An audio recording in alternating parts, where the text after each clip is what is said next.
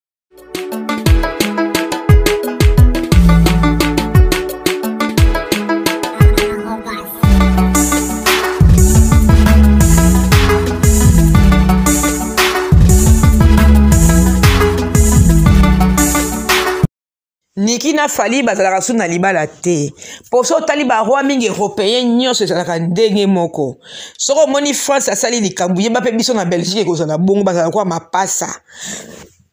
bandeko bolimbisanga bazala lokola mapasa france na belgique loi soki ebandi na belgique eyebaki na france mpe ekozala bongo soki loi ebandi na france eyebaka mpe na belgique ekozala bongo loi oyo toza nango oyo sosali na motu 6 ndako moko bobalani mariage oyo ya leta civile soki bosali si mwa bozalaka adresse moko te leta kotindela bino mikanda bozongisa adresse soki bosali eloko moko te mona leta kosala nini akokata bino bambongo boyoka nga bien ozo comprendre exemple ndenge exemple niki ndenge aza wana aza na fali basala mariage na 2001 ndenge bango ozoloba 2001 fali bakabwani na niki basali kaka soki 3 ans balobi ya soki 3 ans bie 3 ans et demi kome bakabwani fali alongwa deja epa niki akenda kenda alongola baadresse makambo nyonso bazomona sikoyo niki femme marie me bazomona baadresse na ye ezali aza na adresse mwana mobali na ye te ntango ya loi ya kala nde bazalaki kotika parti ya 2009 a 2010 nde leta belge na leta français azwa mibeko mbala moko soki bamoni yo na mobali na yo bobalana boza adresse moko te si mois bakotindela bino mikanda epuis mbala moko bakotuna yo te soki ozwaka location mbala moko bakopesa location ya katikati mpo bakotia yo soko cohabitant soki ozwaka leta oyo bango babenga yango eremi soki eremi biso babengaka awa cps aide sociale soki ozwaka 1000 e quelque 1100 bie 1030 nde bafutaka bango bata sociale bango bakokata okatikati lokola cohabitant ntango yo mwasi yibie mobali okoremake bie soki mpe osalaka passion nani bakobloke yo kaka bamakambo moko boye moko remake ke mbongo nde komata soki te mbongo ekiti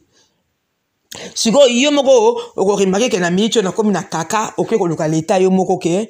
vraiment nalingi su to todivorce batikaka yango su 3 mois bakata bino bambongo mpo bazomona bino boya adresse moko te ntango yo komonaka mbongo na ngai ekatani mbongo na ngai ezobima lokola naza marie oke ngai na mwasi tosi tokamami na mokanda boza marie leta asalaka nini apesi bino 6 mois ntango akotala 6 mois na bomanifeste te mpo lokola ya mosusu fali aza na mbongo na ye mikili ya mosusu soki lokola babi atekaka mingi na bakafe asalaka na bakafe ya bato soki mpe servante soki nini nayebi te sikoyo ntango mikili ya mosusu azwaka bambongo na ye akipaka nde bambongo ya leta te ata bakati bon na akokipe yango te sikoyo nini na passion nani baprononsa divorce bango moko donc niki asengi divorce te fali asengi divorce te mais le temps te kaka bazalaka adresse moko te mbula na mbula loi wana eya na belgique nde ebandaka ekoma mpe na france na 2019 si je me trompe pas bakoma koprononce divorce bango moko bakati l'état donc basali 6 mois séparation de corps batali bino 3 mois bakati bino eh, makambo oyo bozomona bozali kozwa ya bambongo ozo comprendre bakati bino ya bambongo ntango omona bamona ozo bouge kaka te mpo bato mosusu ata azwaka nde mbongo ya leta akipaka na ye te abia asalaka na ye akipaka te mpo azozwa mbongo na ye ya bien sikoyo leta osala nini ye moko aprononce divorce kaka mpo bakati bino mbala moko donc ndenge ezali wana mariage ya niki na fali eza consomme te Eh, eza consomme te mpo ngai naleki na ekata mpona nayebi yango ndenge ezalaka eza consomme te yango bomona bacouple mingi ya poto ezalaka bavandi mwasi na mobali soki bazoluka mbongo na bango mobali akei na adresse mosusu basali lokola basali divorce mais bavandaka na bango ndako moko bakontrolaka na bango yango te batimbelaka mpe te yango ozomona me mingi omona mpe tosali divorce lokola nga mama mingi eza divorce oyo nasala mpenza ya solo mpo natala mpe vi na nga navandi nga moko mbula na mbula nakoki so mpe nalingi na besoin ya, ya mbongo nakozwa mpe ex na ngai azwi tosali divorce na biso me afandaka nde na ndako na ngai ya na ye tofandi na biso ndako moko ya na bacouple ebele badivorce na bango na mokanda me bafandaka ndako moko leta mpe ayebi na ye te baolielie bambongo na bango ozomona ngai namona yango mpe yango mpe eza nango na ntina moko te bokaboli kaka baadresse mpo na mbongo namonaka ntina moko te bozomona me sikoyo soki okabwani na moto bokabwana kaka makambo nyonso to botikela kaka kindeko mpo na bana sikoyo eloko mosusu naza koloba soki nafungola bino bankana na ngai na ngai naleki na etape wana omoni bato mosusu azobetelo lisolo me na oyo avivre yango eza ndenge moko te sikoyo na ka ya niki na fali basi ba, baza na bango mwasi na mobali te ntango deja fali akoma kofuta bana na ye paso alimentaire donc divorce se consoma bankana boyoki soki fali azalaki soki divorce ekonsomaki te fali alingaka afuta bana paso alimentaire te banga batia bango kaka couple soki bino boyebi na bino makambo te na batakisasa bokabola audio bocomprendre soki fa, nani fali na niki divorce ekonsomaki te fali alingaka afuta bana paso alimentaire te alingaka azala kaka couple na kati ya libala mbongo na bango na ya bana na bango na ya bango ezosangana me lokola fali deja leta asa polosa divorce wana nde bomona niki akenda koporte fali plainte mpo afuta paso alimentaire ya bana boyoki bankana donc soki odivorce na mobali nanu te meme bobalana meme bovanda ne cohabita legale mais nanu ye na mobali boyebani teke bokabwana te mobali akofuta pension alimentaire te mais soki bokabwani meme bobalani te mpo awa na poto ezali kaka libala eza kaka te kaka libala moto ake na commune eh? te meme kaka mobali na yo bozobota mwana boza adresse moko babenga yango cohabita legale ngai geti migo na bino avant nasala divorce bamikanda ezalaki nano en cours hein? nakendaki kodeklare cohabitat légal bocomprendre na cohabitat légal mpe ezalaka meme mobali abali yo te me bovai na ye adresse moko soki esimbi te oza na droit mpe moto na bokabola biloko mpo bosali cohabitat légal epuis so bobota bana mobali aza na droit ya kopesa poisson alimentaire donc poisson alimentaire epesamaka kaka na ka ya bokabwani soki bokabwani eza te poisson alimentaire ekopesa te bakotia bino kaka marie na bana na bino bozo comprendre ezali bongo ntango bozali divorce nde passion alimentaire ezalaka consomme donc papa na mama bokabwani pesa sikoyo moninga mbongo na ye mpo ye moto azobokola bana na salaire na yo balongolaka ndambu bapesi bana mais soki divorce eza consomme te bakofuta yo passion alimentaire ndeni mpo papa na mama boza esika moko te yo naza champion deja bolongola na mitu fali na niki deja bakabwana bon nayebi bino sikoyo likambo oyo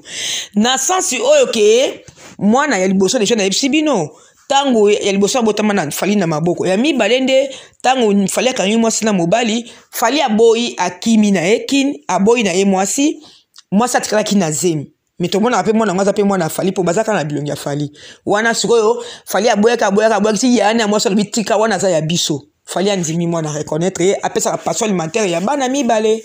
epuis passion alimentaire ezalaka na niveau ya papa azozwela mbongo soki papa aza na mbongo ebele mama mpe akozwa passion alimentaire bakokatele mwa montant moko ya mingi fali lokola aza millionnaire soki mpe azali millionnaire donc fali sikoyo akopesa mpe bana mwa mbongo mama ya bana mwa mbongo ebele ti bana bakomaka 18 ans nde passion alimentaire ekatanaka wana sikoyo bana sikoyo bakokoma bakozala sikoyo na kati ya biloko ya papa na bango bakoyesola papa na bango nini papa na bango bakopesa bango mbongo donc ndenge ezali wana mwana deja mwana deja ya fali ya liboso fali apeselaka ye passion alimentaire te makoversele mbongo mpo na mwana na ye pa comme deja majeur soki oyo ya minere oyo ya mibale nde bazopesele passion alimentaire mais mwana oyo ya liboso vraiment nayebi te so papa akopesa pension alimentaire hein? akopesa nde mbongo mpo na bana na ye balia bamela balala bien mpo mwana awa aza 18 ans mwana comme deja majeur papa akopesa pension alimentaire epai ya bana nde bon la mosusu bapesaka epai ya bana meme kutu mwasi soki fali adivorcaka na niki te fali ndenge akenda wana akopesa mpe na niki pension alimentaire ozomona ndenge ezalaka akopesa na niki mbongo paso alimentaire mpe apesi niki soki nano niki ya bali te apesi niki apesi mpe bana tala balwa mosusu ya poto mpe ozomona balwa mosusu ezalaka pene na injustice eh. donc fali ndenge aza wana avekselaka niki mbongo na bana ozo comprendre mais sikoyo ya bango mibale ezali na ka moko boye ya adultère nde ekota na kati wana soki na ka ya adultère fali ya kovexele mama mbongo te mpo na ye soki mpe mwasi asalaka te wana ndenge mosusu mais mwasi lokola asalaka papa mobali akofute te akofuta kaka bana na ye bocomprane bandeko na nga donc baza deja na libala te mpo awa na poto eza su congo nde mpe na kosenga mpe mpa gouvernement na biso ya congo botala mpe makambo ya badivorce ya congo eza na bato mingi na congo baza kolela badivorce na bango ezowumela mpo leta aza nano kowumisa zwa deja alire na gouvernement sika bozwa mibeko ya poto donc soki omoni bato bakabola baadresse déjà 6 mois bopesi bango 3, 3, 3 mois encore bobakisi ezosimba te prononce divorce yo moko leta toza na bato mingi bazoshie bato likolo ofai na mobali ozonyokola mobali makambo mabe bi ozonyokola mwasi aboya yo te okangeli ye vie eza mabe yango leta awa ezalaka meme pas une année nga moko lena nasengaki divorce na nga six mois déjà baprononce divorce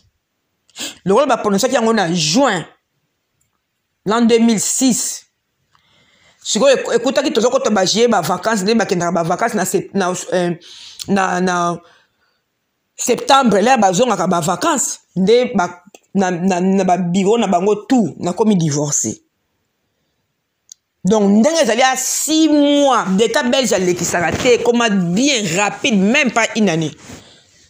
yango bino bato bokaba badresse na mibali soki omonake naza marie lokuta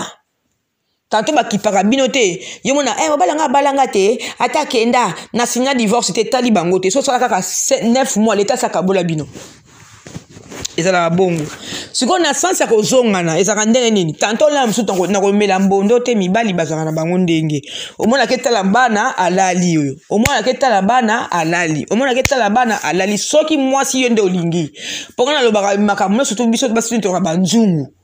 mama efo ezala na esprit ya dure mobali etangami mpe te kokangele bana na ye amona bana na ye te non mais koprofite te ntango yo olingaki motu olingi su motu te ça sert à quoi kutu ngai nalobaka na bolingo malamu mobali nde alinga yo mingi ke yo mwasi olinga mobali mingi mpo soki mope na bible mpe na bible mobali linga mwasi mwasi respecte mobali bible ekomana te ke mwasi linga mobali non bible ekoma ke mobali linga mwasi mwasi donc basi oyo balingaka mibali basalaka mpenza masumu mpo bible ekoma bongo te ndenge lokola niki azolinga fali boye ekomi lisumu ifalaki niki atika fali alinga ye ye arespecte fali so niki asali pyramide en envers eh, eh, donc abebisi makambo kua pyramide donc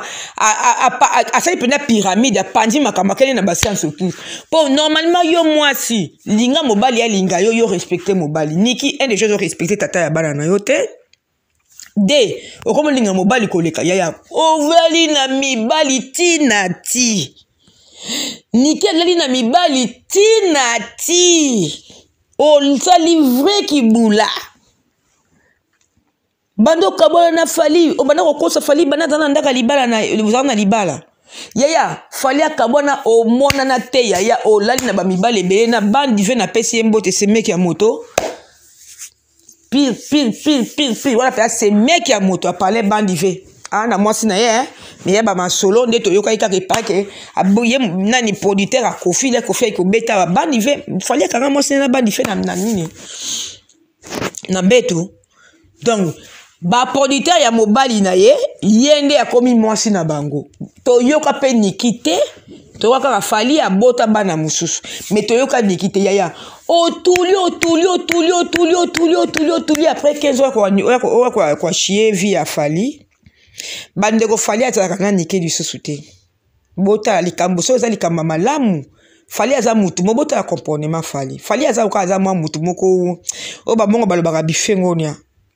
alo afingaka bato te mais aza mpe mwa motema makasi soki aboyi aboyaka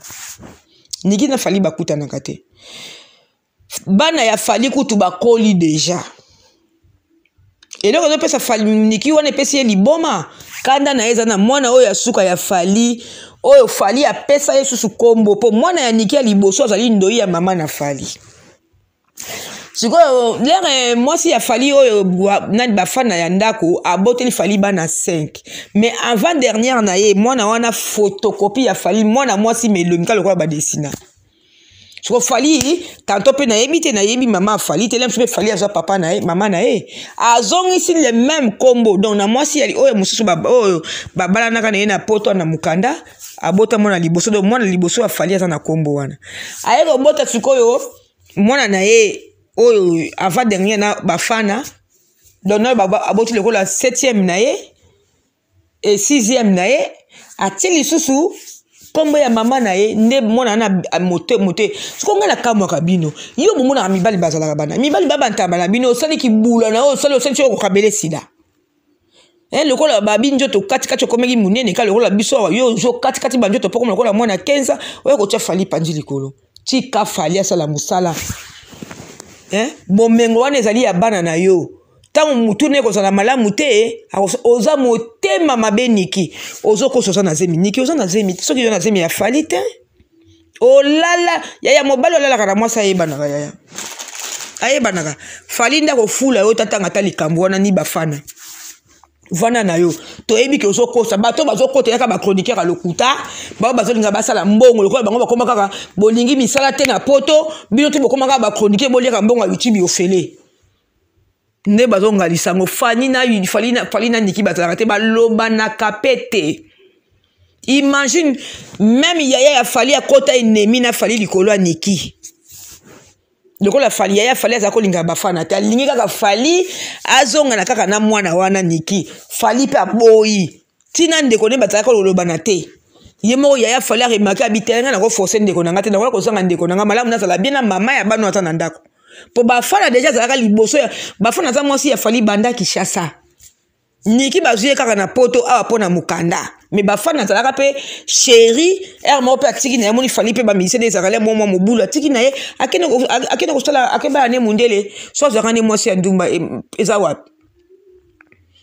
azaka asalaki ndumba lia mosusu na bomwana azaka oluka vi na ye akutaki mpe na chance ya mondele na ye alima na ye abali ye nde epa bafani azwa mbongo na ye asalaka bafere na ye fali ye moko atali na baniki atali tali na basi na ye mobulu atali tianakende ozongela kaka mwasi na ngai oyo ya bomwana oyo alakisa tata na mama na ngai bafana baye kozongela susu na bafana donc niki aboti mwana liboso apres twama bafana boti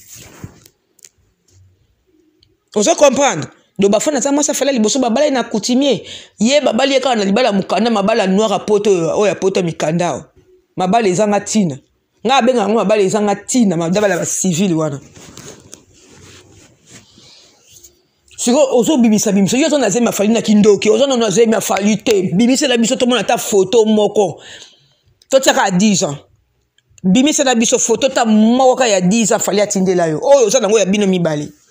mobali ya mobali na yo te lokola obe ozwi zemi na ye parce obe okomi na mobali deja na niveau ya zemi ayaka na ndako ti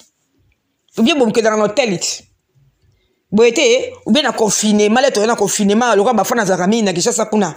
donc yo sikoyo ofandaka na confinement na fali te tindela biso foto yaya obetinda biso bamessage oyo whatsapp oyo mpo biso tondima mpo tokokota yango fali azali star na biso monene ya mboka kongole ndoki kaka yo moko ozobebisa lokumu ya ndeko na bino oyo akomi motu monene atuma mpe bendele ya congo partout na miziki tindela biso tomona ozotyaka babibero oza na zemi te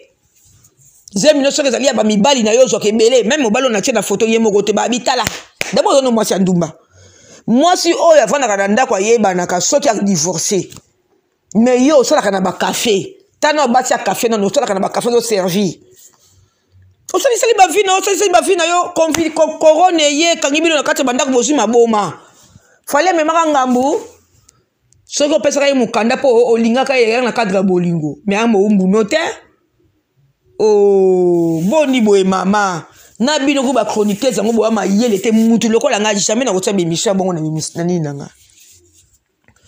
azoluka base tokolingo te toko da toko toko nga kutu toko toko s'abonner na ba, na ba Instagram na yo te na ba biloko doza toko s'abonner te même soko sali eloko biso ba oyo tozo linga pe lokumu ya ba, ba, ba couple ezala toko sala toko linga ngo te wa toko pesa biso nga mona femme divorcée lokola yo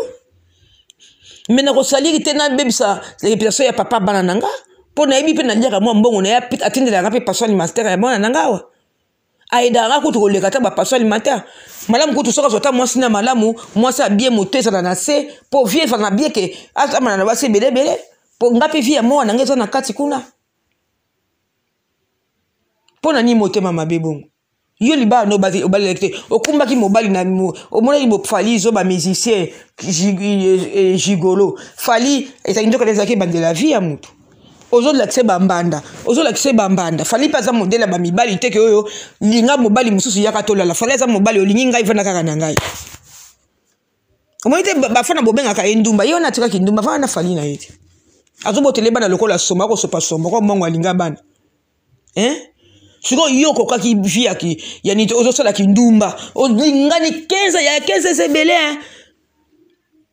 kenza eza ebele wana soki na bamaladi na yo soki olali na bamibali banani soki banani banani na confinement okembikembi na kati na tika so tokolobela yo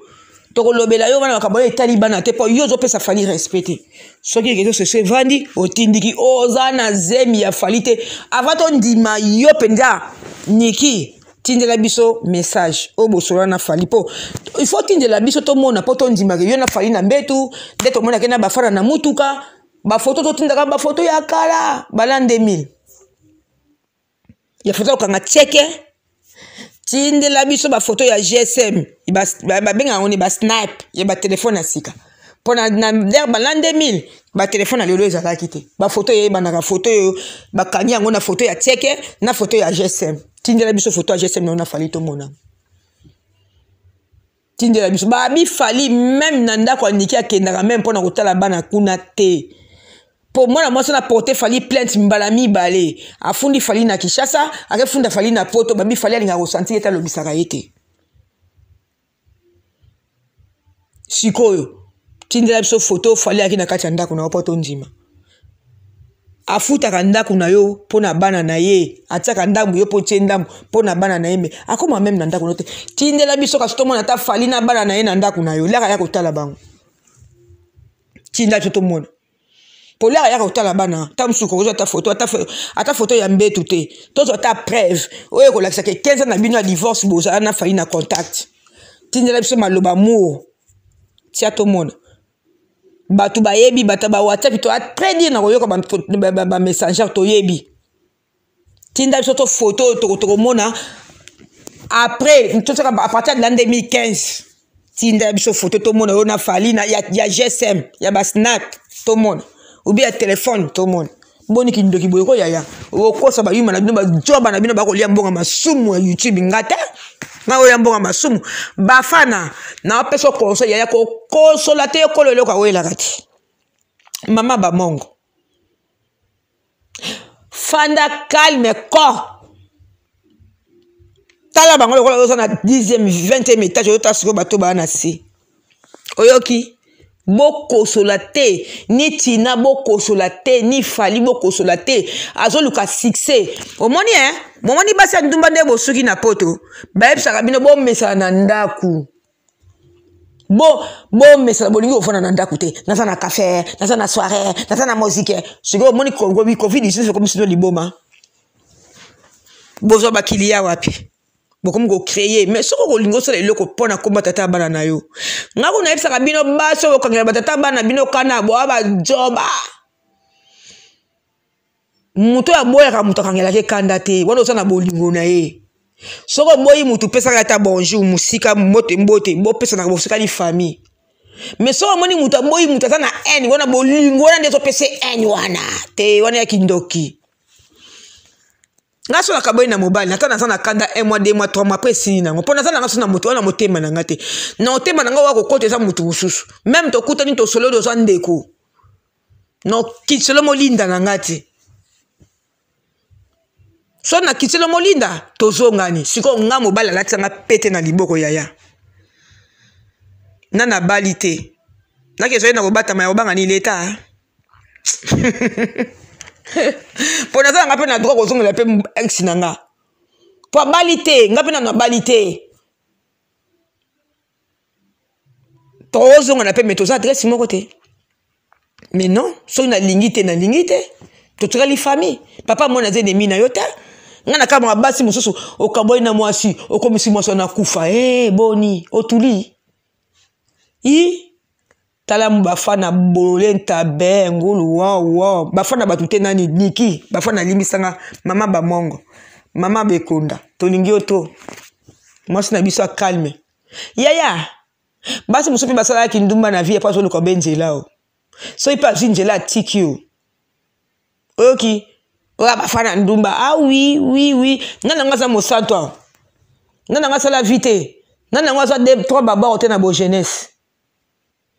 mpo benga moninga ndumba ah, bapasa oza otia moninga poso na lisu tala mpe ya yo moko bokosola mwana mwasi te so bajournaliste wana baza wana eza kaka bato olia mosusu balingaka fali te nde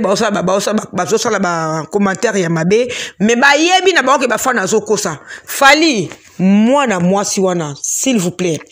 aza mama abala na yo me boza oblige bozalaka na ye te sunga kaka bana na yo lapa ye na vie aza mwana mwasi moko okumbata na cimetière mpo niveau omona mobali no papa bana no akomi ya star ya mokili mobimba oponzolaka nkombo na ye na lokuta bongo na bareseau sociaux yaya moi je peux pas faire ça dans ma vie même je suis divorcé maintenant même mon ex il a pris quelque, euh, une femme dans sa maison même si on s'entend pas je peux pas faire ça pour mon fils soki papa asungi bana liyongi yake epa banani epa bamama te so okabwani na mobali mobali asungi bana na yo liyongi eyaka epa banani epai ya biso bamama te tu aimes même pas tes enfants tu es une maman méchante hein, niki tu n'es pas gentil du tout tu es pas gentil il faut pas faire le papa de tes enfants comme ça tu es pas gentil yango bino bandeko ya mibali botala basi oyo akozwa eh? botala basi oyo bozobala eh? bozobala bandoki eh? akoseli fali makambo bakutanaka na fali te lakisa biso foto tondima ozobimisa oza na zemi fra 3 ya fali ya lokuta ngai soki nakutanaka na mobali nakozwa mpena nini na ye nakozwa foto na ye natindiki soki otie kaka foto tokangisi fali monoko bafana beta yango bale di fanda mama bekonda mama bamongo fanda na yo botia biso bana kitoko boni mpe boyeko sia bandoki wemba ye wana atindi kaka sopasopa basombo partout hmm? osomona mwasi moko asala papa yemba chantage oyemba akoyemba yemba basi na ye ye moko hmm? bosi bomona oyo biso bazoba mama amazone amazone mpe akotya akina bamibali te bamimamona amazone nde mosanto amazone aye kokangama na wemba le amoni kaka wemba asombi lopango awa amazone mpe azali na mama mayele mingi te apesa mpe wemba mayele mingi ya mbongo te kaka lopango bapesaki wemba na mbinza wana bango nde otonga ake kopose kandidati akoma ministre naye okangama na wemba ah, amazone mpe lalalala na mibali na france kuna te biso kasi kasi toyebi te mpo ni wemba akoyemba batutu azokumisa mama amazone mwasi ya wemba oyo azalaki mwasi ya lolendo ezalaki kaka mama ezalaki mpe mama mama amazone te ezalaki mpe nani sagi eh? amazone so otali mpe bia azalaki mobulu e akolalala na bapeti ya wemba e mpo bomimise mosanto mpo afana nde koumia na libala eza kozala mosanto te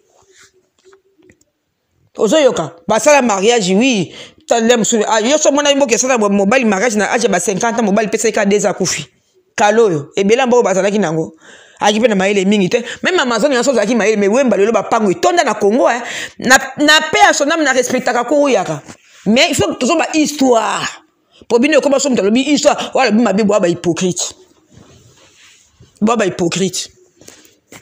mpo ekomaka amazone amazone amazone elaki mosantu babiso koumela na mobali 50 ande ya mosantu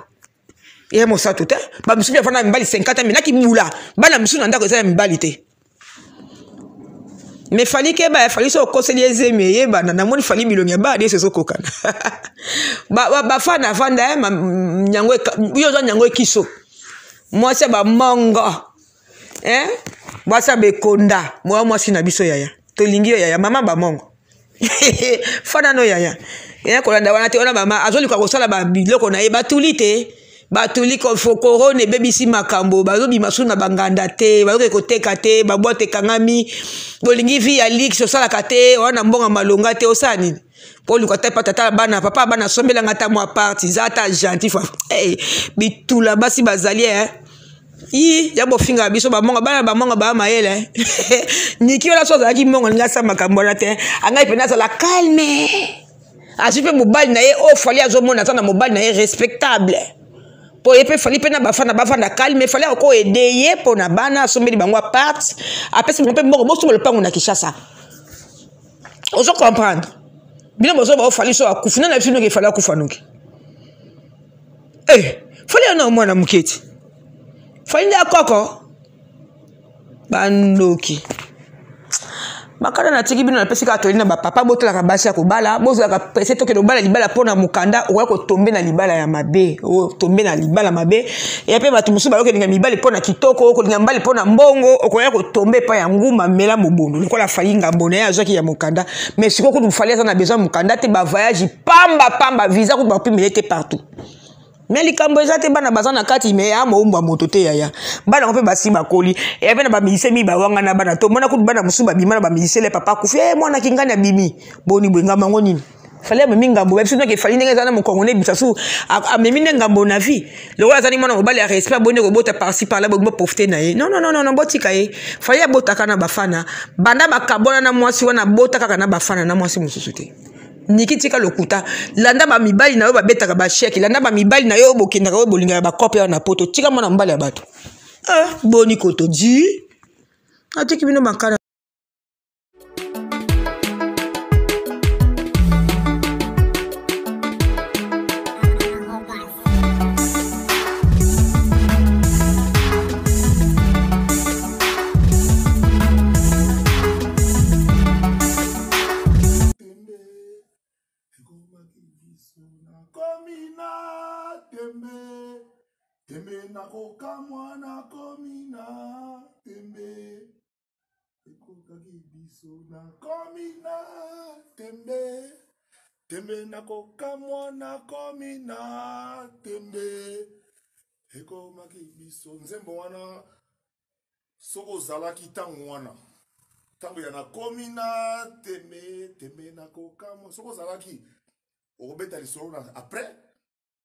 na bana na yo na mwasi na yo na bandeko na yo nyonso tu oexplike bango oexplike bango oyo azalaki soki ozalaki ozalaki zala bosele omongo le petit mwa tuni na vie osalaka nini yango na petit nanga biloko na mindele oyo nabongisaka toujours mwa elongo ezangaka te tete ya sikoyo ekomela makambo oyo sikoyo naobanga so na fini yango omona kaka obabu ekati tu keba ah c'est bon nakomi na tembe tembe nakokamwa nakomi na nzembo oyo na kini oyo na république démocratique du congo nzembo oyo graci babs soki ebandi sesele ezalaki couvre feu ko totosango te nakomi na tembe soki ebandi couvre feu tozotosa te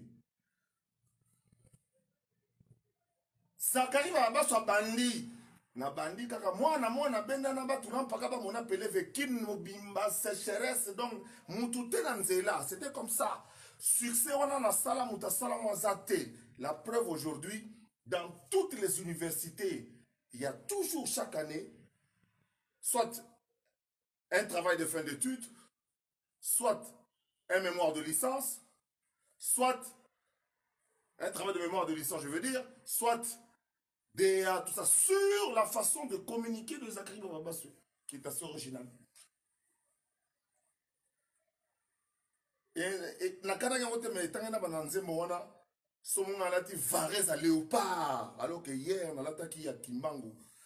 qui a compris le message l'heure vient et elle est déjà venue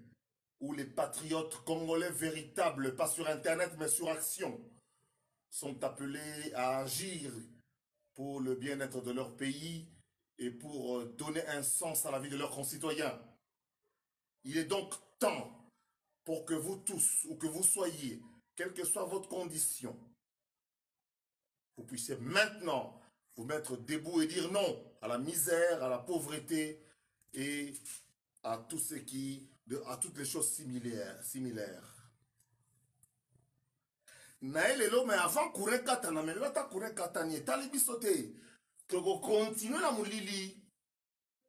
tu continues na mouli na biso depuis lundi nous avons démarré cette émission en simultané sur facebook et sur youtube j'ai pris des dispositions pour qu'aujourd'hui l'éclairage soit très bon. Je suis content de les, du retour que je reçois pour vous qui nous regardez sur YouTube, avantage c'est que avez la télévision avez une télécommande. bana poto bana états-unis bana canada bana ya europe meme bana nkini elengi nango tala yango na télévision ya gayard tya oke mpo nayeba kotala nga na teva monene elengi nango na bino na bino de grandeur nature boye boye deux fois te batula mpaka balomona peleve je saurais pas réduire l'éclairage je veux réduire l'éclairage on est foutu l'éclairage en fait je suis l'éclairage est trop proche de moi c'est ça voilà donc je recule l'éclairage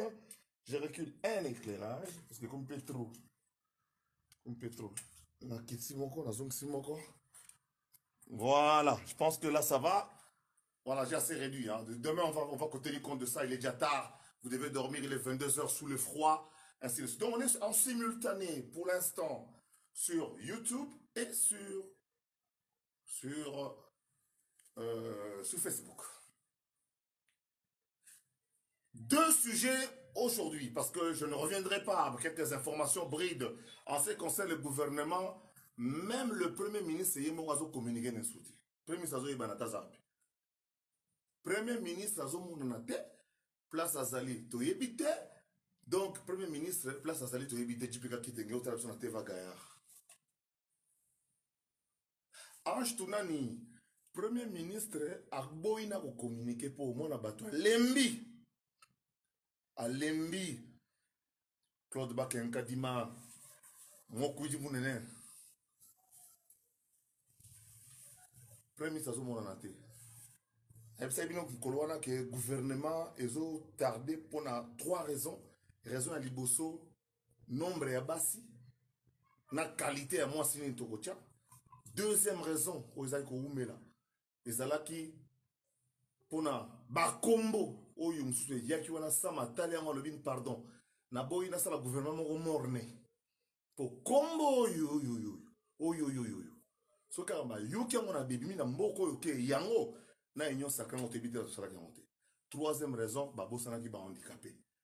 personne vivant avec handicap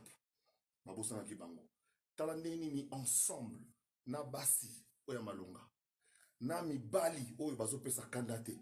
na bahandikape tokotonga mboka oyo congo république démocratique du congo alex awalone oyebi blaise lui esita prêtre na ndenge akosakana te defois te batula mpaka bango na peleve na bango zakri bana baso de retour bopikle to bobandaka mbangu déjà mpo idéologie oyanga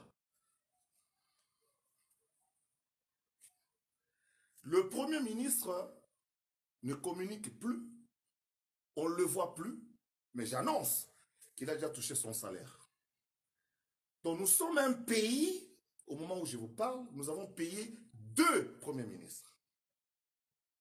Oui, nous avons payé deux premiers ministres. Ils ont reçu deux frais de logement et ils ont réussi du carburant pour euh, le mois. Deux premiers ministres dans ce pays. Incroyable mes frères. 50 jours depuis que Sama Azaraki nommé. 50 jours lots. 50e jour. Dans 10 jours, un mois. Et j'avoue que dans 10 jours, ils ont difficile toute la solution. Tout le monté, mato serré ceinture, sauf décision finale, il y a Yemoko. Félix Antoine Tshisekedi, il a nommé un premier ministre et il le laisse faire. C'est ça ce que dit la Constitution. Monsieur le Premier ministre, propose-moi 45 noms. Et le président de la République attend les 45 noms pour les publier. Et j'avoue que ce n'est pas une tâche facile. Ça n'a rien à voir ni avec la compétence, ni avec la volonté de pouvoir travailler, mais c'est simplement dû à un impératif oyo ya bandoki. Il y a des gens qui ont fait venir des... On en a yo qui, hein? Parce que moi qui kinois. Moi qui kinois, c'est... Bato baye na ba, na ba marabu awa. Marabu awa uti Tombouctou. naza na besoin ya mwa deux naza na besoin ya deux pasteur oyo bakonda oyo babandi sika oyo bawumela te po pasteur so akomi na ventre lokola ya ngai aliaka biftek alalaka na mbeto ya bien saint esprit eza mingi mingi eza te mais naza na besoin ya frere oyo akonda oyo akonda oyo azona na mabele ceinture ko abakisi trou mosusu lelo na kutu mpo mabondeli ya ndenge wana ndeko obondela mpo na eza sans effet koma mboka ekozala maboko ya bafetichiste bandoki eske nzambe akopesa ya normal te nzambe akopia ya normal te nzambe apesaka ya normal jibe mpia nayemba nzambe mpe apiaka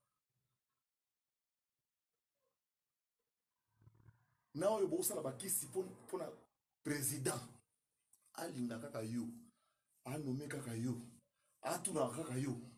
na baoyo bosala bakisi mpo osama lokonde amonaka yo oza incontournable sans effet na bino nasengi deux frères kaka ya pamba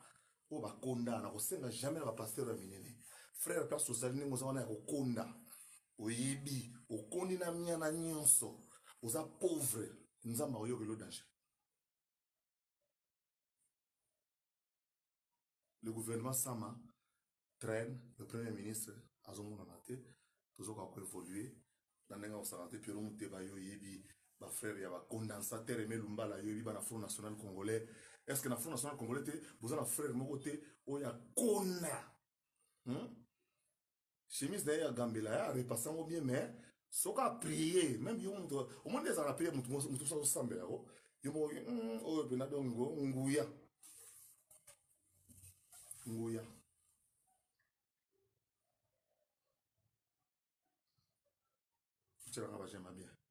donc gouvernement ko tobosana nanu moke lobi nabetaki lisolo ya gentili ngobila na nero mbungu nasenga bango batya na se nauti koyoka na pokwa que ba députés provinciaux ba signer pétition contre Nero Mbungu balongola ye balongola Nero Mbungu mais nanu ekomi effectif te ya des députés provinciaux oyo balingi balongola Nero Mbungu parce que eloko esalami quand même 17 députés basignaki contre Godin Poi mais 33 bavote mpo atikala cest na baoyo basignaki base contredire pardon bolimisanga ya papa badepute mosakisa sa respect mais eloko bosali ezalaka te yo moko osigne pétition na yo oye nango ntango ya examen 3 kaka baboyi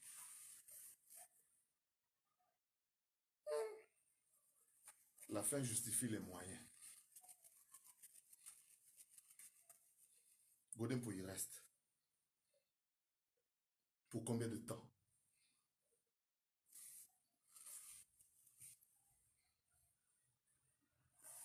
Donc, il y a une pétition des députés provinciaux contre Gentilly, et euh, contre Néron le vice-gouverneur. On va travailler quand Quand est-ce qu'on va voter des édits, c'est-à-dire que la bah, loi ou Yobino Ville à Kinshasa, sur la pollution, la normalisation de la vie de Kinshasa, pollution sonore, non respect du code de la route euh, autorité de l'état absente c'est quand on va normaliser la vie de Kinshasa souvenez-vous de notre leçon sur le Kosovo d'avant-hier la normalisation de la vie le respect de, du bien public regardez nos bus oye ya sika na mona moko jour wana esala accident na bia ye chauffeur oyo ya moki yo atuti bus oyo nayoki motema pasi le respect du bien public. C'est ça le travail que nous attendons. Mais vous passez votre temps à être pour et contre le Premier vice-président de l'Assemblée, à Assemblée provinciale, à point de presse naïe, que nous respectons, à la vie que non, il n'a jamais été corrompu, il ne sera jamais corrompu. Eh bien, nous tournons la page, mais elle est mal tournée en fait. Elle est très très mal tournée. Donnez-nous le temps d'ici, en tout cas d'ici euh, le 20 que tozala na mwa eloko moko esala mwa eloko moko ya moke mpo esia biso na ndenge ya kosakana te wana masolo ya bainformation mibale oyo na ngai napesa bino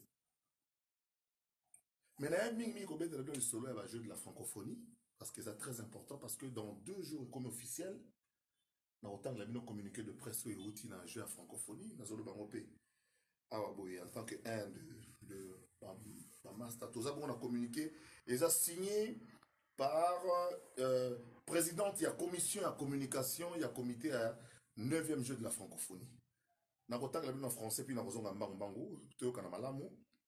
la république démocratique du congo lance les travaux de, de réhabilitation des sites des 9e jeux de la francophonie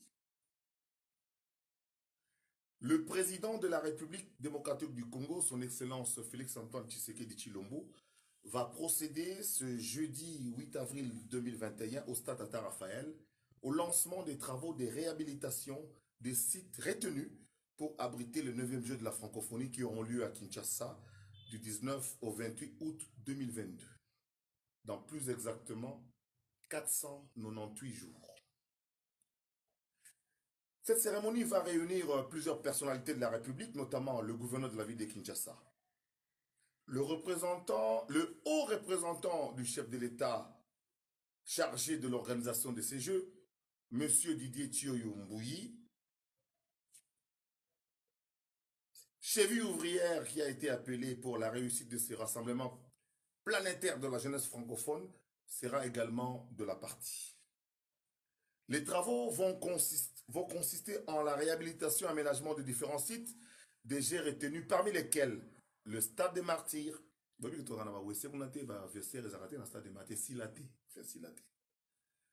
Tata Raphaël, 24 novembre, donc le lot cardinal Maloula, et l'échangeur délimités. Ce sont les quatre sites phares où vous la beauté à Kinshasa par la pose de cette première pierre par le président de la République, la RDC donne un signal de départ des 9e Jeux de la francophonie qui vont réunir dans la capitale plus de 4000 jeunes athlètes et artistes des différents pays ayant en partage la langue française. Initialement prévu en 2021, les Jeux de la francophonie ont dû, ont dû être reportés pour des raisons sanitaires liées à la pandémie de Covid-19 qui a fortement perturbé le programme des manifestations prévues à cet effet. Et eh, eh, porte-parole au gouvernement, eh, porte-parole au gouvernement, au statut français. Hein? Et il ajoute, quand le sport s'allie à la culture pour témoigner de la solidarité francophone, cela donne les Jeux de la francophonie. Une formidable rencontre entre 40 pays, 3500 artistes et sportifs venus du monde entier. Je découvre le texte en même temps que vous. Soko yebi oyebi, soko po yebi te, oyebi te. Deuxième élément d'information, c'est la liste des invités. Compte tenu à coronavirus, Fatia aux la stade. Alors, il y a proposé premier pied à stade où il y a Yebi pour Naasi, la génération Nangai, Yeba Beta, Papa Simangai. Eh, ça dit match, moi, je beta, papa, Paraba Yebi, Tenzo, ok, stade. tata moko azoya so tata na azokota osimbi ye okota stade ofele mpo bana baza kofuta te na stade nalangi champion ya baje wana obi ozeli match 6 heures ozokaka bacrime babe ogangaganga na 18 heures yo okufi okoti na kata stade mpo na yango lokola espace ekozala mokie le haut représentant monsieur didier chiyo alobi non lokola faci akoya mwa bilongi ya kini bilongi ya kini ndambo mpe ekozala wana bilongi oso peuple amoni asepelaka ngiama makanda weras jean bedel mpiana kofi olomide ferre gola héritier watanabe gaz mawete Innocent Balume, Mbili ya Belle, Rebo, Sai Sai, Esobe, Aida, Kalunga, Vue de Loin, Papi Mbuma, Bob Amisu, Dominique Kabengele, Eddy Badiata, Ndeko Zulu, Israël Mutombo, Christian Bosembe, Pasteur Guilly, Yoka Son, Jacques Kalonji, Laurent Fabrice, Serge Kalubi, Virginie Lofembe, Raphaël Walukonka, Nati Lokole, Kadiombo, Pichu Mangaya, Horizon Massamba, Titi Levallois, Camille le Privilégié et Bienvenue Bakumanya. Pour tala bakombo wana zonga na rediffusion, okomona kombo ya quelques bilongi ya Kisasa oyo kozala na tribune jour wana bavanda Fachi Mopanzi bato Mopanzi kotoyo soki babengi yo te koya te toni to changer masolo soki babengi yo te koya te mpo protocole d'état ekozala très très très stricte ba kombo na tangeli bino awa ese qui déjà lobi bato wana na ko se charger personnellement ya kopesa bino ba invitation mpo na ndemaki mokumba mpe ngambo ya komemela bino ba invitation na bino na maboko mpo vendredi na tongo tongo tozala na star tata raphael tozala tata mokonzi parce que star ya mokolo ezali poza première pierre Vous comprenez place bakobongisa. Tobongisa stade à 24 novembre. Tozobongisa Tata Raphaël. Tozobongisa euh, stade des martyrs. Et puis tozobongisa 24 novembre, côté à côté 24 euh, novembre. Et c'est makasi oyo ngai en tant que kinois naza nango yango wana. Eza ba site oyo kobongama libela. C'est un gros budget d'à peu près 70 millions Les travaux seront exécutés par des Congolais, par des entreprises congolaises au lobby tango bokoya bokomona bango. Donc c'est très important bokomona yango lobby toza na bana biso ya IBTP taka place Zak Lazare. Donc totie pena poa bana biso ya IBTP bana biso Académie des Beaux-Arts bakoparticiper bakotia mayele parce que chef de l'État lobby que on va créer des richesses pour les Congolais, on va donner à des entreprises. Mais naza ko prévenir bino oyo aye na idee ya cop amilongwaka lere oyo oyo aye na idee ya cop amilongwaka lere oyo mpo tolingi quand même tosala biloko moyo umela mpo hmm, ndenge mabe te mpo soli moto mpenza soki ozali kuna momelaka soli moto finissage mpenza omoni mpenza ke eh, finissage wana eh, finition nalinga tobango finissage eh, nalinga na finissage finissage wana mpenza eza mpenza bien te biji bolinga eza pena bien te donc tolingi sikoyo basala eloko moko boye ke bafrançais bamarocain baye bamonake non il y a eu des ingénieurs congolais qui ont des architectes congolais qui ont conçu qui ont fait des choses qui ont réhabilité et puis toka ko kobanda mpona koavance donc nangi na informe bino que jeu ya francophonie elongwe na maboko ya institution gouvernement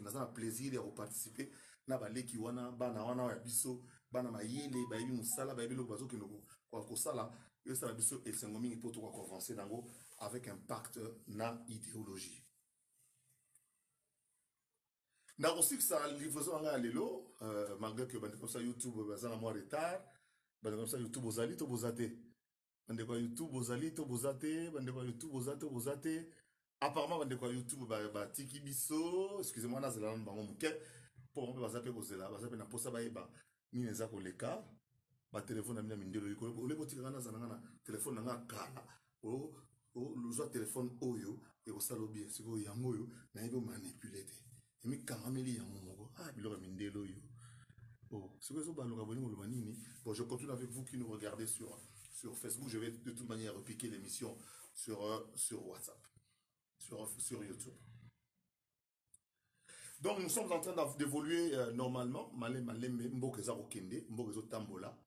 badifficulté eza ya biso toza na choix entre koloba ke mboka koloba ke non vere mboka oyo tosali vere eza ya moitié rempli na, na bato baloba non vere eza ya moitié vide toza na baproblème na congo oyo eh? so bacentre kaka le mosusu président ya rwanda ndambo bokopana na barwanda rwanda wana ifo kopana na balwalaba congo 2 million 345 000 kilomètre carré 100 millions d'habitants hein? 100 millions d'habitants sikoyo tokenda pendant soki combien d'année mutu na mutu nzela na ye mutu na mutu na mentalité na ye moto na moto na modele na ye moto na moto na kiyanke na ye soki okofandisa mitu nyonso to nendima yo eza mpasi na congo meme soki tozwi jésus christ yawa chef de l'état tokobete diabo o oh, yesu mwana nzambe aye na kini akozwa mama na diabo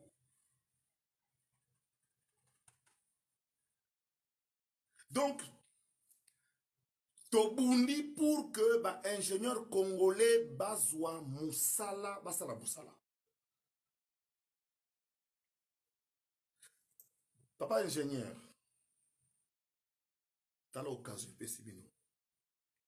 toboyi bosala biso bandako ekweyaka bato ya bato bakoyawa 3500 personnes bakolala kuna na village ya francophonie toboyi tribune ekweya mpo na babi ya giza oyo rdc bakotya toboyi toilette ezala bouche botenir compte ya barealité na biso boamenage batoilette compte tenu ya mwa bosenzi na biso na kati aéroport ya dakar c'est l'aéroport le plus moderne oyo ezala te baza na bawesa coup direct mpo bayaki ebele bamataka likolo ya bamataka likolo ya cuve batikeli bango batoilette type turc na mwa tu ya mai donc mpo na nga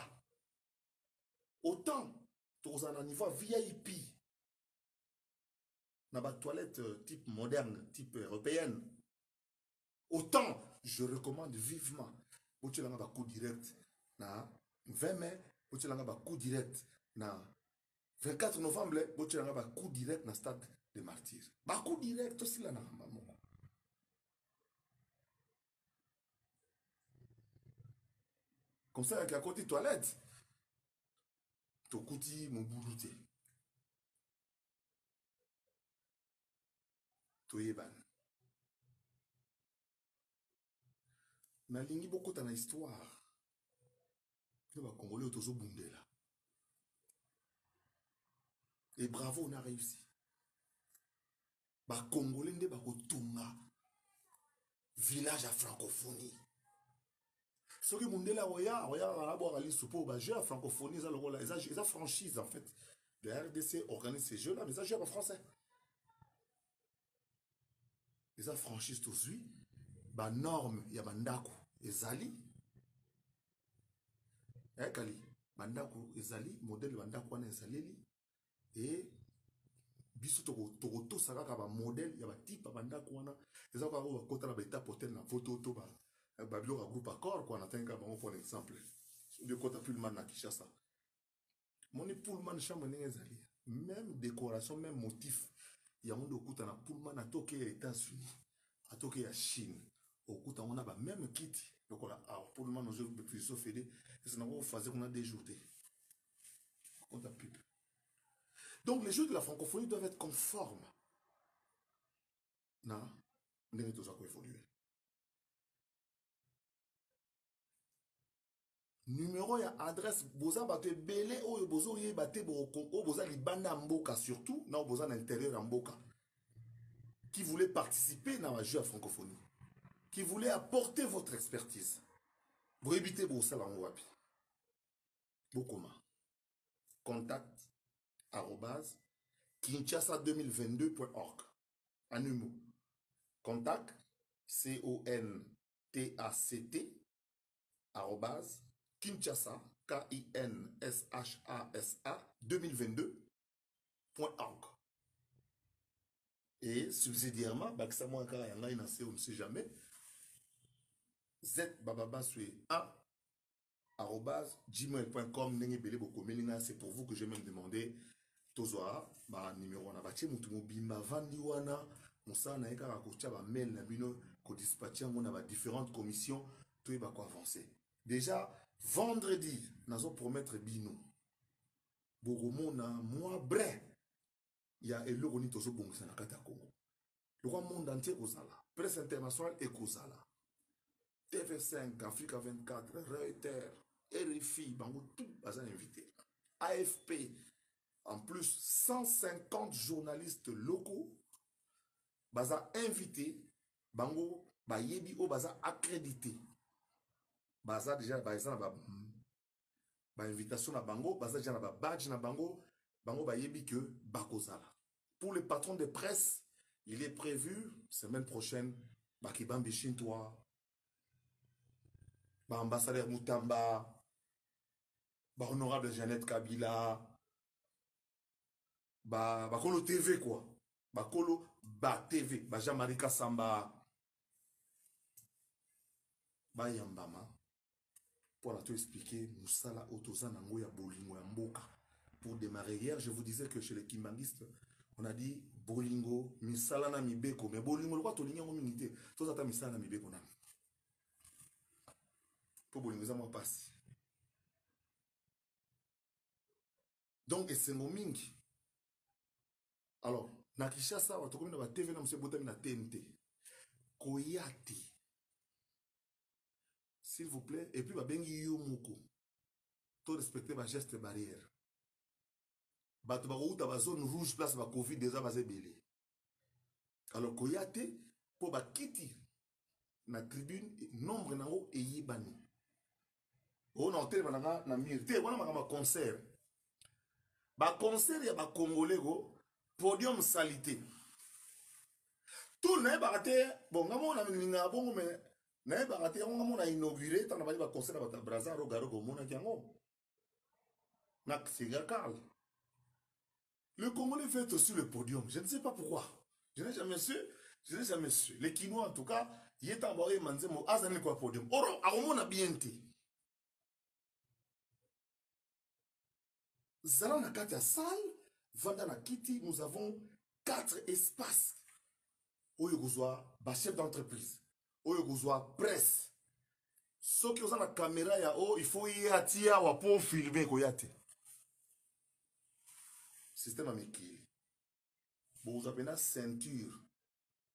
bokozala les cameramen seront cantonné na coin moko o oh, oyo oyela ngai aide psychologue o oh, na filmaka eh, boni boni zakali babaswe bajango ebanda olobi te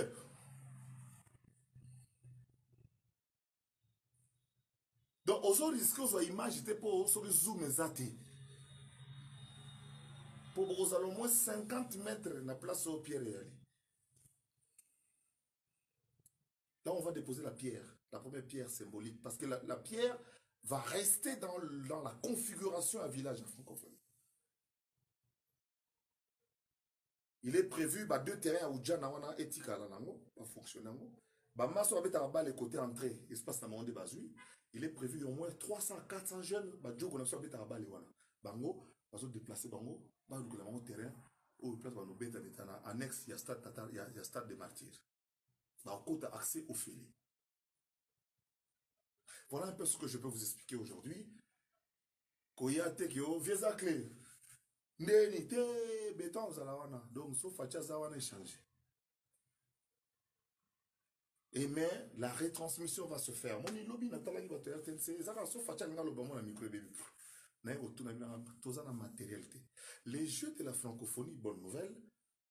eko permettre tozwa ba materiel full HD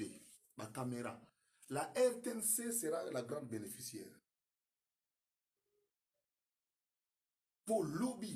soki ekipe ya nzuzi ngoi bazofilme match na stade tomonaka ata bale mpo tokaka wo bale tomoni te kamera kamera ezokende mosika te to nous aurons en full hd ici à Kinshasa du matériel oyo RTNC a bénéficier et vous avez plateau ya nyama RTNC télévision nationale pour une mtaza na exclusivité ya ko diffuser ba jeux de la francophonie soki yo o nga direct tv ndenge na diffuse kende kosolola na dg na ekipe ya rtnc ke nga mpe ndenge nazwa signal bango na biso nopo ozwa signal futa biso ota botala badividende oyo mpo na mboka tokoteya na malembe malembe mpo na site yango nde tokobatela yango ntango nauti cote d'ivoire nauti ovisite ya baivoirien oyo totalaki esuki ndenge nini ekomba oma baétudiant baétudiant bazanga baparent baétudiant mosusu bazanga baparent mpo bazala pembeni ya université 50 dollars soki okomi mwana terminal na noko ya bana na licence e 90 dollars mpo na bana gradua chambre oyo ekologe baathlète ministère ya jeunesse azwi yango ekomi na disposition ya secrétariat général bakomi kofutela lelo bana mike mwana auti kananga auti mbujimai auti lubumbashi auti mosika soki aza pembeni na stade de martyr wana akofutela na ye chambre finaliste 50 dollar oyo mosusu atikali 90 dollar bano bazobanda sika eza likambo ya cop te eza likambo normal mpo na kini na kongo tokomisa cop meme place cop eza te wana eza idea nalobi teke leta na biso akoloba bongo mpo yoka leta biso ateki ne baappartement tekeli tekeli nango bato Qu'est-ce que nous allons laisser à notre progéniture Tous les espaces verts ont été vendus par cette technique-là. On vend tout. On a tout vendu. L'espace vert, les assous Et voilà un peu euh, pour la Lelo, nous avons dans ma solo milité en bête la bino. Bande kwa YouTube, euh, Borozo, ou yotan, ou boka la bino en haut. Nzamba pambola, pe abate la mboka na biso Congo. Pour les autres, baloka, bale komine ngai. Pinch to zoom hand fill screen. Na biso ngol bani. Hum, na picture na ba français na bino. Oni. Hein? ekomi awa ekomi awa nde biloko ya mindele oyo bon tokende malembe malembe malembe au fur et à mesure bana ya front national congolais bobanga te kala te je viendrai ici vous citer qui ont été retenus comme administrateurs du front national congolais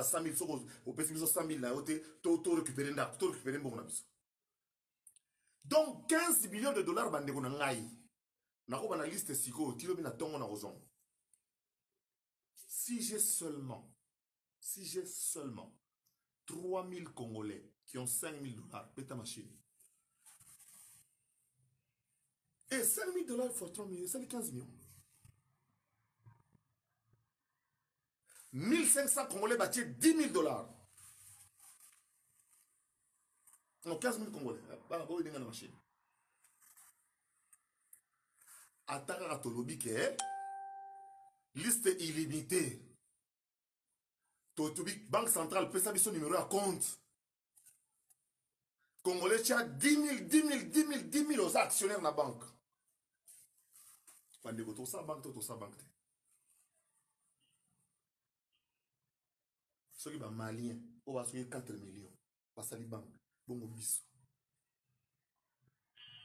le front national congolais mouvement patriotique ya politique toza na mposa kosala banke na biso banke ata moko te eza na congo awa ya bacongolais eza su te balibani baza na 12 banke banigérien mibale bacamerounais moko bamisusu kutu nayebi ti soki ya banani babanke mosusu biro ezalaka te kope yaki na mboka oyo te efaci sala mosala premier ministre na biso sama napesi yo nkombo albin courti premier ministre ya, ya, ya kosovo yo na ye ndenge moko mbula moko makambo ndenge moko lutte contre le crime organisé Nous voulons vivement avoir notre banque. Oui, c'est possible. bino tosala masta na états-unis wana oyo komela yango babinanga ke oza capable oui papa toza besoin de makasi bajuriste batondi ya bakosangisela biso mike ata bana promotion na ngai na upc bakotravaille nango professeur florence baza wana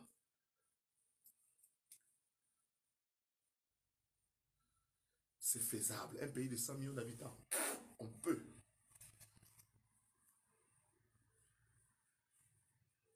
dix mille dollars dix mille dollars osali transfert nango ye na compte wana eke na banque centrale toyebisi banque centrale tala biso toya na réserve ya 15 millions ou même 100 millions allez yo yaka na projet no ya bilanga tolobi non to prioriser par exemple agriculture o oh, ngai nangi na récupérer na équateur papa na biso azalaki na 200 hectares ya eva vous savez que chez nous biso na congo biso eva ebotaka yango moko me bamboka mosusu bazokona kakao oyo eza na cote d'ivoire na ghana euta ya ngambi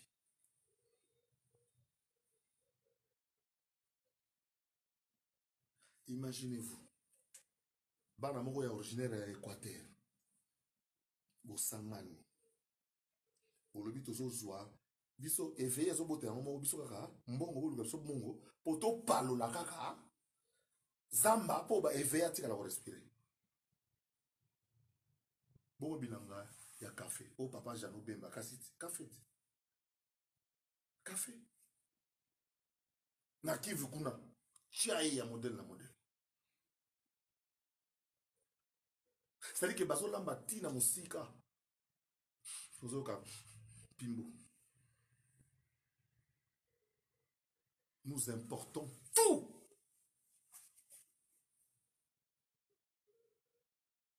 nous produisons ce que nous ne consommons pas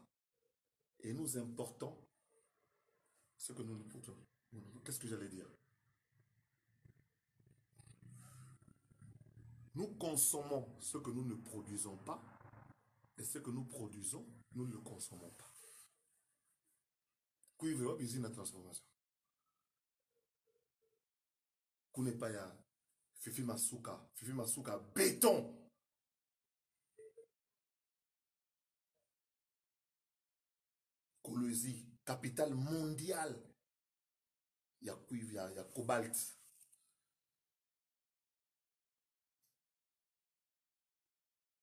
Imaginez-vous na Congo central awa. Awa. À 15 minutes de vol avec un Kinger. plantation boza nango ya huile de palme oyo ezosala lelo ke singapour ezala sikoyo bomoni banga mboka totangi ya mike mike mike mike ceux qui vivent en argentine je vous salue oui il y a de gros fermiers en argentine qui nourrissent l'europe et les états-unis matiti oyo baliaka wana euta kongo ya ngambi mobutu akendaki na koma nango congolise biso mona ya ngambi towana nini tala koloka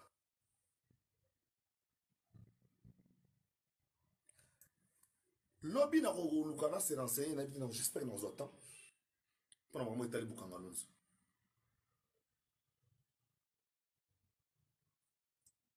minimum ya volonté minimum ya abnégation minimum ya courage charlotte cikupe ekosala en sorte que to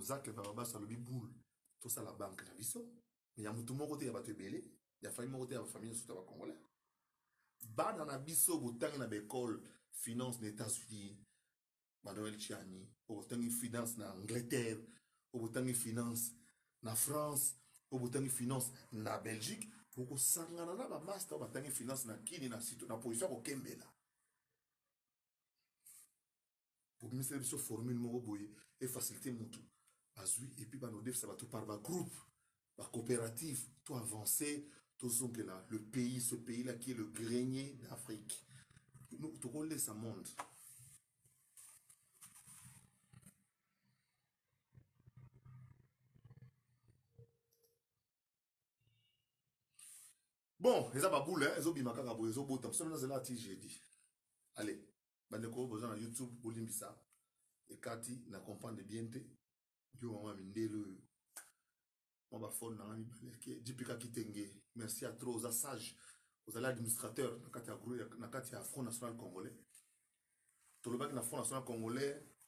toboyi makambo ya mbongo eh, ono boluka 200 dollar te ba materiel nazosalela awa eza don ya bacongolais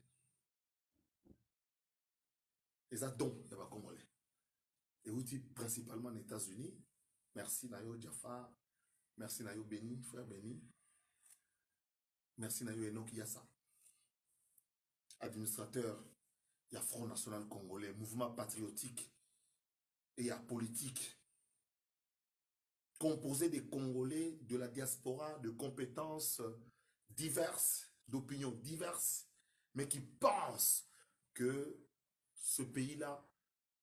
eux doivent apporter des changements positifs et durables.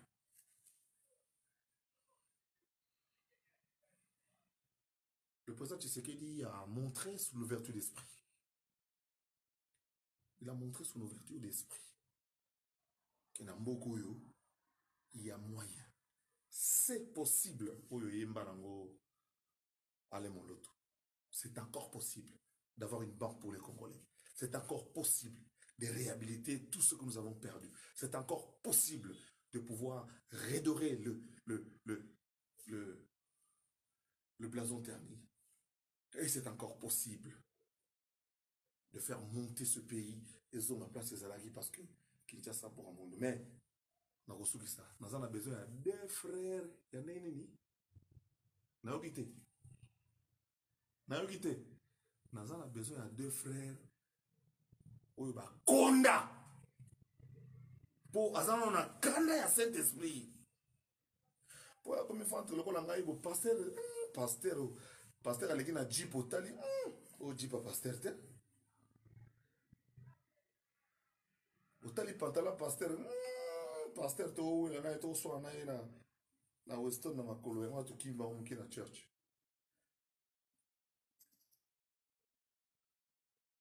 richard ilunga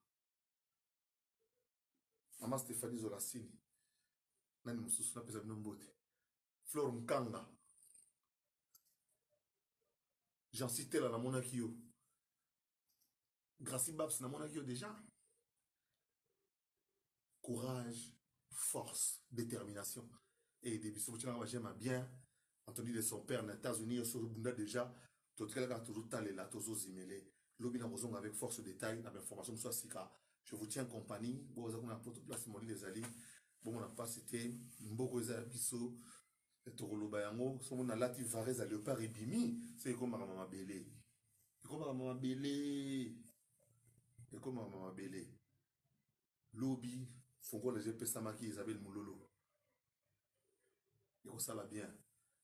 nakosukisa na nzembo na biso wana ange tournani le sage merci ya trop namoni le sage ange tournani outi kishasa merci ya trop na mama fala ndenge bosala mosala baconseil banini bamakambo ebele ndenge tolobaki effectivement c'est ange tournani ye moto afuti mbongo mpo tosala ba statut tosala makambo tu aye bo laisse moi je vais payer c'est ça le front national emelumbala patie kopale serge gelor pesa mbote naleka rapide mpo nakomi na suka surtout ba patriote l'heure est venue et l'heure est, l'heure est, est là et elle est déjà venue allez avançons tokende to évolue oh, baza cle azoluka poste ote kolobaka poste koluka poste baluka yango boye te poste bongo asi faci ndenge aza na yebi te ayebi na ye donc mpo anomi oza na yango mais siko tosolaka mpe boye koloba ke aza na esprit ya kofungwama esprit efungwami mais bankadi ya baamwa trop sama lukonde aza mpe esprit ya kofungwama akobunda kaka mpo gouvernement obima kaka hmm? celestin kabuya ekobima nango kaka mark kabum serge kayembe kala mingi te lisolo ekofana nango ya kosala bien napesi balidere na biso mbota mboka ye moko félix antoine tshisekedi chef de l'état napesi mpe mbote na bandeko na ye misusu po abengaka bango bongo martin fayulu moïse katumbi jean-pierre bemba adolphe mozito fumumpa ah oui kima nkulu nga naza kima nkulu dede wachiba frais de gestion facebook filemo muya so atangi yo toza leader te e keba na mbusa nyamwisi keba na mbusa nyamwisi keba eh, keba na mbusa nyamwisi pretre epuis bato balingaka mboka na bango lokola gouverneur biso ya sud kivu teo nakobosana te tuno gouverneur kaka tumatubwana gentini ngobila bamanisa kiabula fifi masuka zoe kabila le bâtisseur bulo zoe kabila azosala eza makasi me nazoyeba te siko zoe pourkoi ozokota na nio sacre te esaleli hotel talaka bulo ozosala wana me eza mpena union sacre mpenza zoe kabila makambo ozobeta wana ko na kalemi antuka ezala baimage ya solo mpono nake kuna te olive mavungu soki eza ya solo akotaka na union sacre desani e eh, mpo niveau abongisa province kotaka na union sacre officiel mais esala nini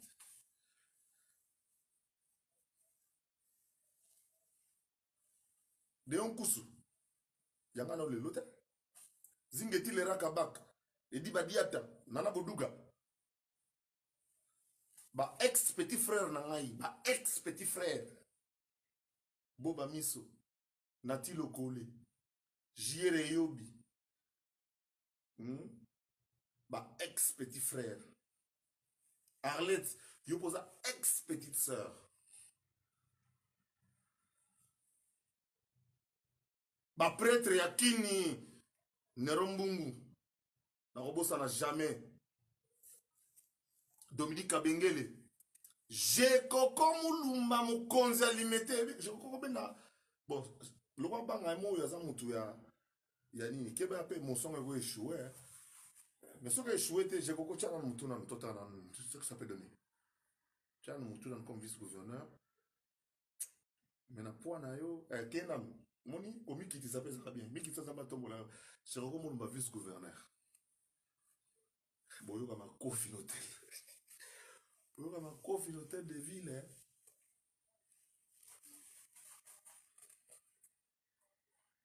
na poto nakobosana te chancelier de bundes mokonzi ya tous les allemands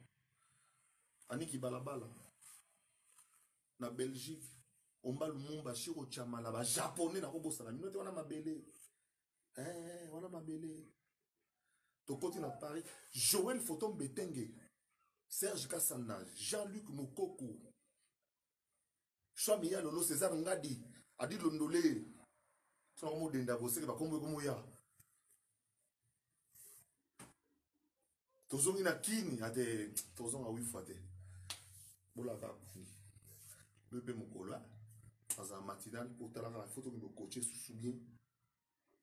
boya botala eloko to prépare eloko mwa mokie kaka cérémonie ntango fatia ya kopose première pierre place tokotumba village ya francophonie boya kotala eloko ya mokie kaka